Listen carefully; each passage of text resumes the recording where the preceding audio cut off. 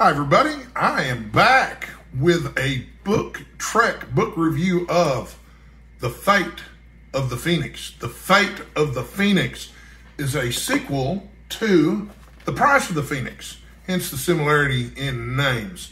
And I'm doing this as a part of Book Trek 2023, the summer of Trek.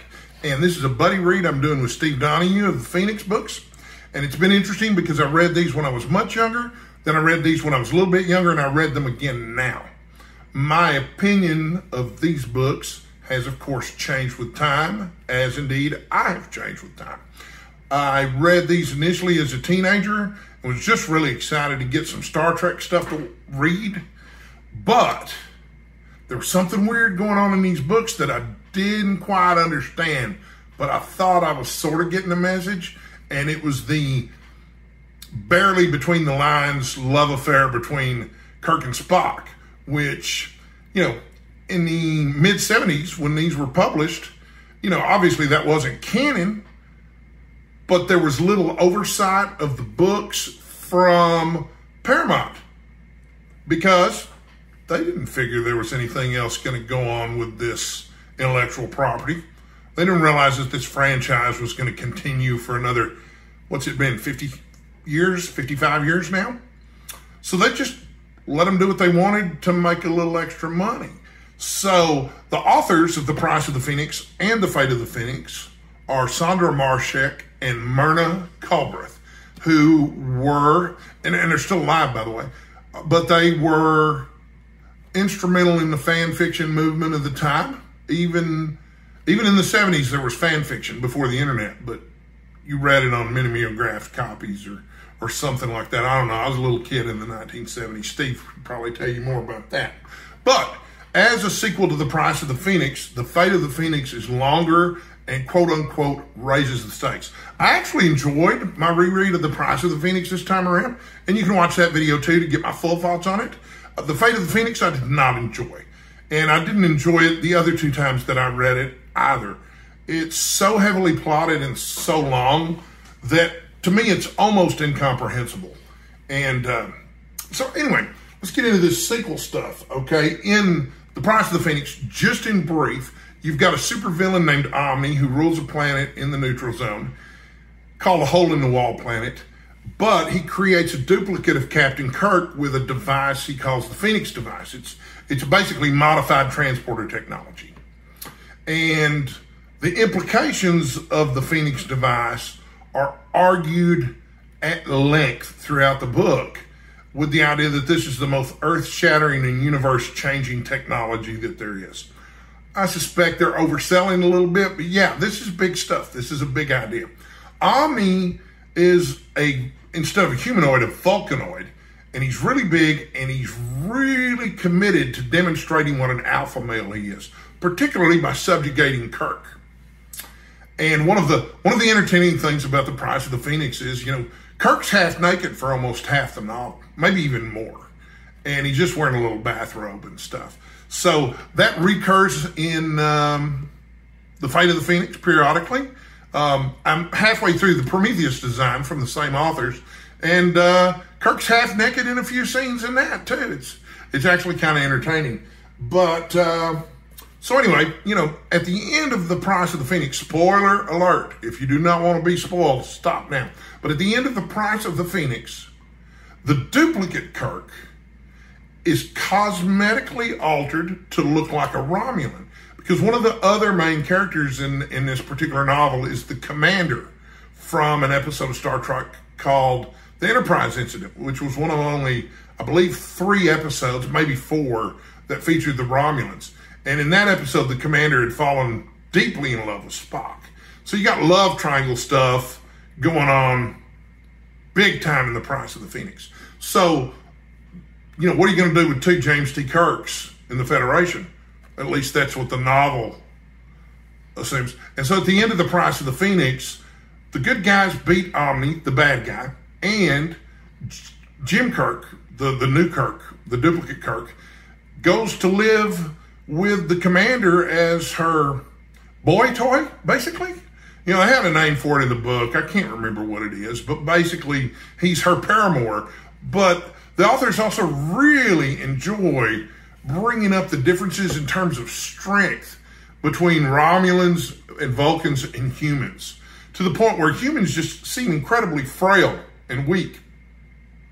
And it's one of the things that they're really concerned about when they're talking about taking Captain Kirk and integrating him into Romulan society. So, also, there is, uh, okay, so now we're segueing into the fate of the Phoenix. In the fate of the Phoenix, one of the plot lines is the commander's relationship with Jim Kirk because it's not like he expected it to be. She's in charge, you know, for, for you know, she's definitely female, but she's the alpha male of the relationship. And he does not like this.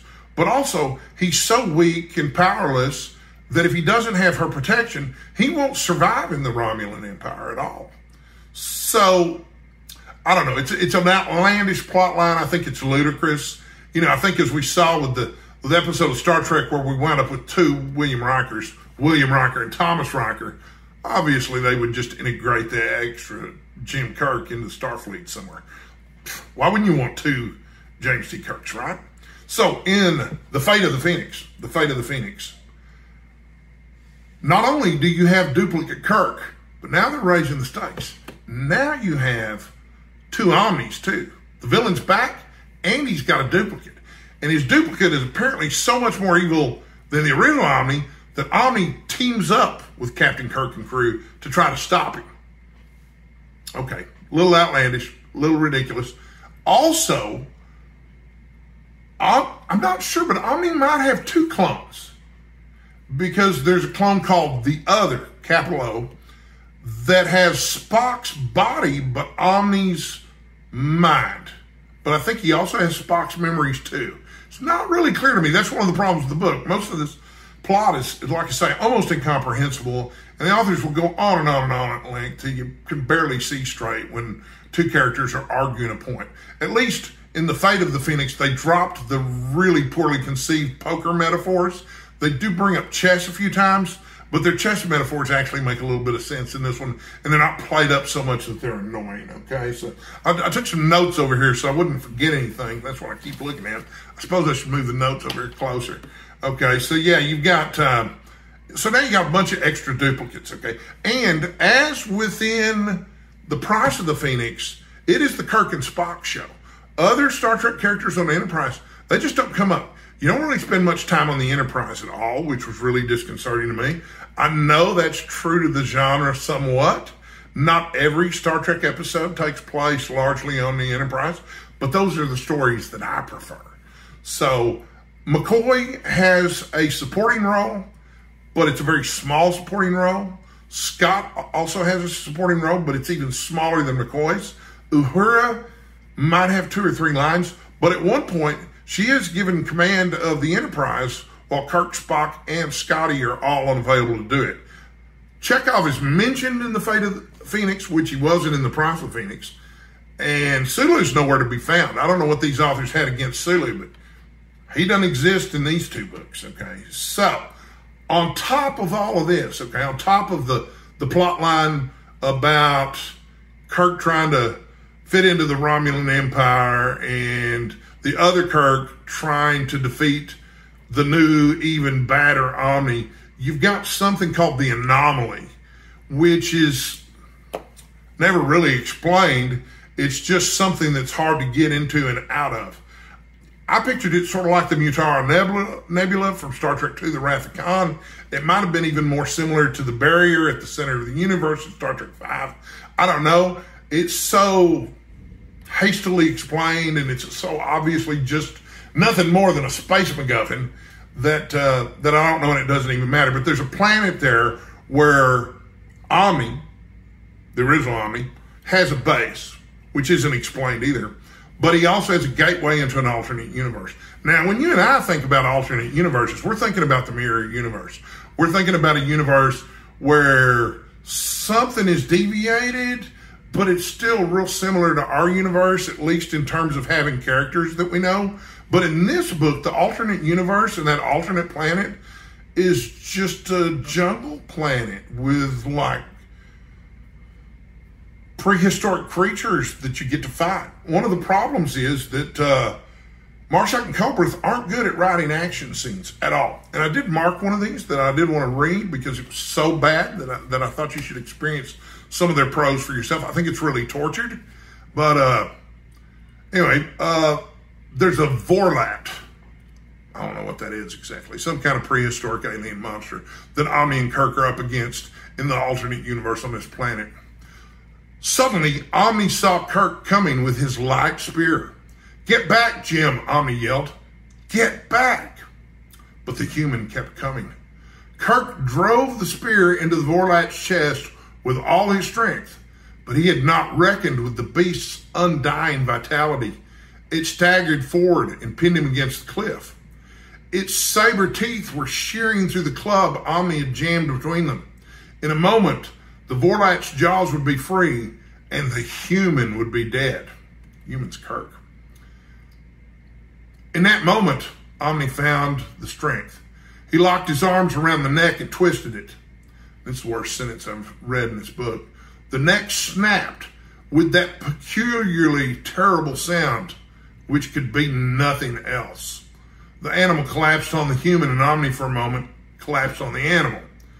Then he pulled himself together and hauled the human out from under the Vorlon.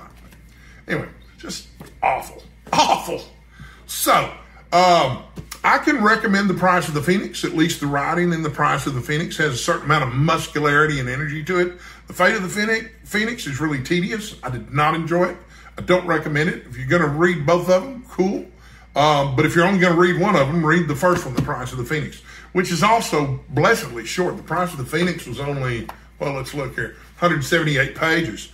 But The Fate of the Phoenix lasts for 270 pages. It's, it's fairly lengthy because, man, this is this is small type too, guys. I mean, look at there. Also, there's one other little quirk that I want to mention about the Phoenix novels before I close this video up, and that's this. They really love the conceit of having Kirk say, Spock. Also, and in the, both these books and in the Prometheus design too, Spock and Kirk have some kind of telepathic bond that I never really saw any evidence of on television, but these authors love to play up that, that television bond. So, there is my review of The Fate of the Phoenix. I will be back tomorrow with a review of the Prometheus design, the third book from Sondra Marshak and Myrna Culbreath, and it is not a sequel to these two. Came out in 1982. It's a really interesting book. Um, but this is part of an event called Book Trek 2023 and it's the summer of Trek. And to participate, all you have to do is read Star Trek books. And it doesn't matter from what era, what show, just read Star Trek books. You can read one a month if you want to. Post a video about it. The uh, previous years, they've had all kinds of rules, but, but that didn't seem as interesting to me and uh, and I'm glad they're doing it. So I, anyway, I ignored the rules last year, but I didn't make any videos anyway because I wasn't making videos yet.